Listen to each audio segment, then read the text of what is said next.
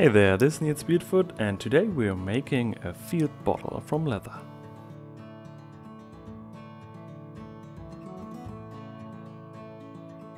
Starting with the pattern as always, print it out, cut away any excess and tape pieces together.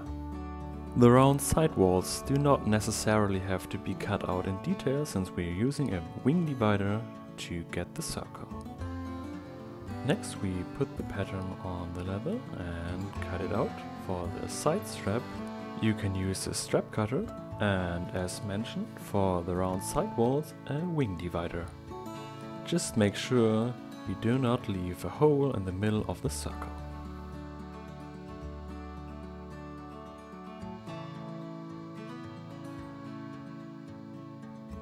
For the side straps you want to leave some excess leather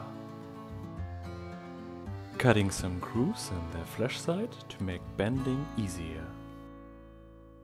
With a beveler you can cut the edges of the holders and then thin out the ends a little bit to make it fit more smooth. Next we are moistening the pieces from both sides. Here I'm using a groove cutter in reverse so I do not cut, only mark an area on the flesh side. This guideline helps you preparing the sidewalls and give it a round shape.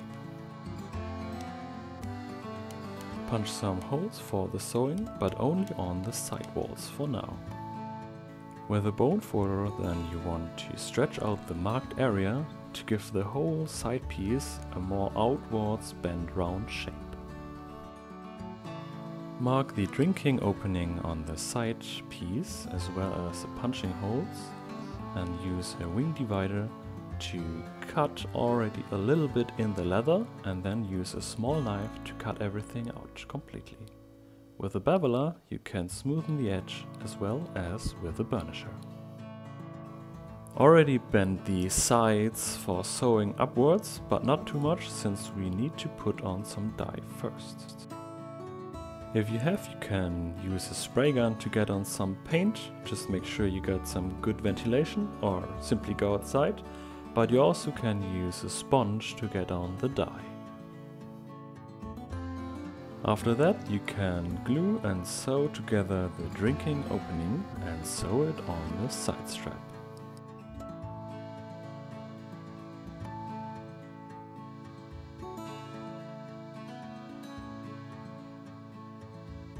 Moisten the side that will be sewn on the side strap and bend it a little bit outwards. Place it on the opening and mark the holes for sewing.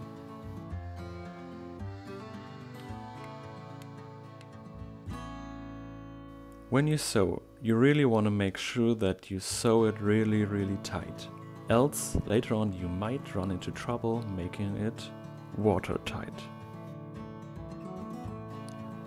Glue the holders around the D-rings, cut away any excess, re-dye it if necessary, and put them on the side piece with the rivets.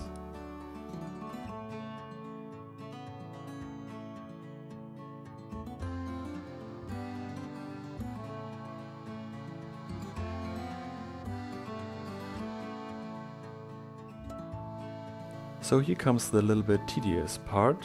You want to put contact cement on one side of the side straps and on one of the side wall and set it set for a few minutes and then press it together. It will be a little bit of finger work but these clamps are really helping here. Where the ends of the side strap come together you want to moisten the leather a little bit and then form it really really close together and use a bone folder to help you with that.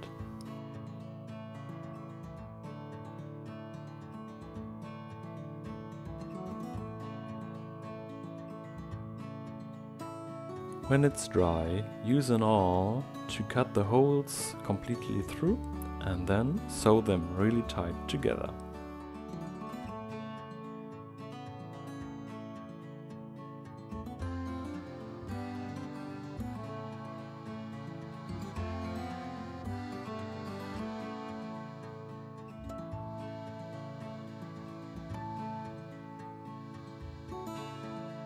And then the same procedure with the other side.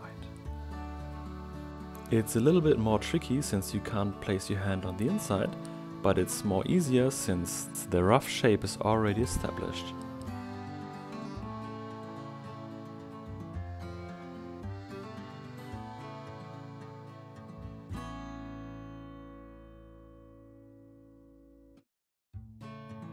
This is what you should have now.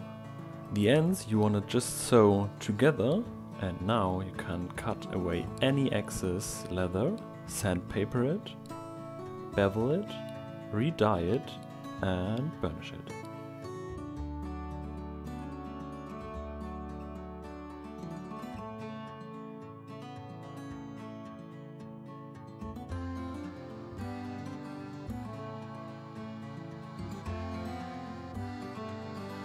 I wasn't completely satisfied with the shape of the bottle, so I put some water in, took it out again and then put in some rice and press it in to press it the walls from the inside out and give the walls a little bit more of a round shape.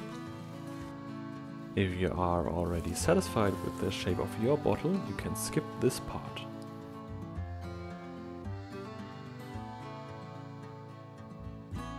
For the wax, you want to use beeswax and really use a high quality to make sure there are no contaminations inside since you will drink from that.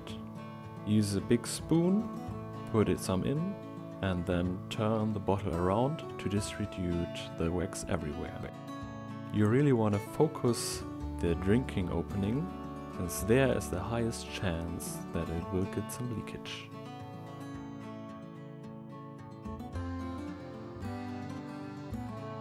I got plenty of excess wax here, but with a simple hair dryer or a heat gun I can remove and distribute the wax easily.